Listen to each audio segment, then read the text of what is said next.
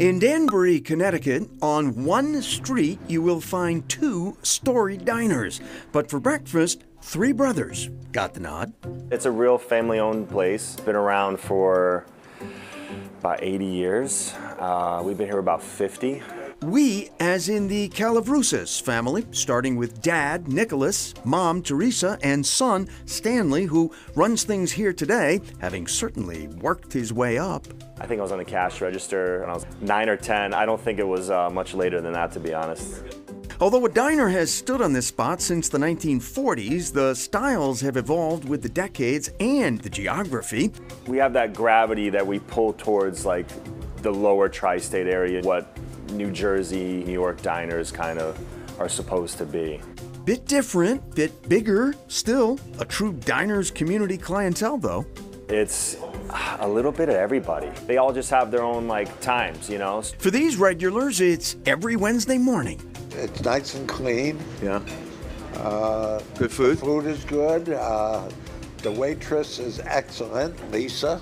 No sensitivity about age with this group, who are all older than the original diner, Durkin's, where all of them were also customers.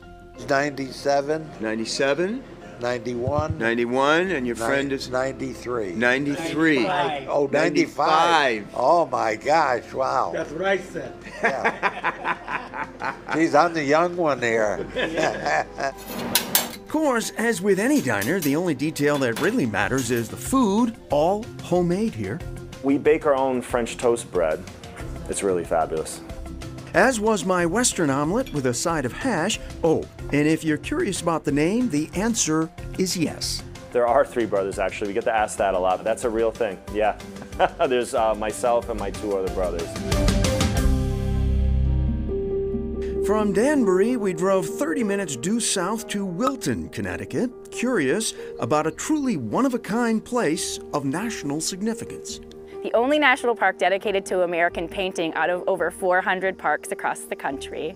It is Weir Farm, former home and studio of Julian Alden Weir, a prominent painter and founding figure of the American Impressionism movement who worked and lived here from 1882 until his death in 1919. You can see his masterpieces in museums across the country today. He was a very important figure in American art, and that's part of the reason we're here. Visitors today are able to stand over Weir's shoulder, as it were, where he sat at his easel. This is a reproduction of Upland Pasture. It hangs in the Smithsonian American Art Museum in Washington, D.C. now. Original palette and easel? Yes, and these are some of the pigments, some of the colors that he used to make some of his paints to paint these masterpieces with. Weir was often visited here by prominent colleagues like John Singer Sargent, all drawn to the simple but stunningly vibrant natural landscape. There's this beautiful painterly light, and the landscape has been so well preserved. Today, artists of all kinds continue to come and paint here. Even would be artists are encouraged to pick up a free brush and try their hand. It's not like a historic story that ended. It's still happening today, and I think that the artists that come here are really excited to be part of that legacy.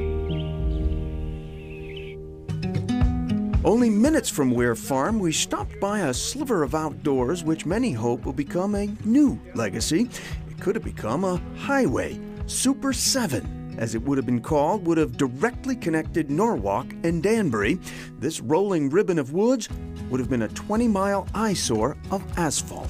Portions of Super 7 have been built, mostly down in Norwalk, but as the road was unfolded, there were communities that didn't want this superhighway through their area. In 2010, the state instead approved the now ongoing creation of the Norwalk River Valley Trail, which will indeed connect Norwalk and Danbury, but by a recreational gem, a nearly 38 mile multi use trail, the longest in Fairfield County. The Norwalk River Valley Trail allows me to be in the woods on my bike and be safe. But also, not just a cyclist, but hikers, walkers, families. This is my chariot, That's huh? your chariot. Yep. love it. Trail board member Mitch Ancona helped get us onto the finished mile of trail in Redding, Connecticut. The other thing I like about this section too, it's a, it's a little bit more undulating, a little bit up and down, a little bit more windy and twisty, which is nice. With that, our mile of finish trail was up and we were back out on the road in Redding. But eventually, all the miles, all the towns will be connected Right now we have about 30% built out. We have another 10% in the pipeline. We're very excited. And to think, it could have all been a highway.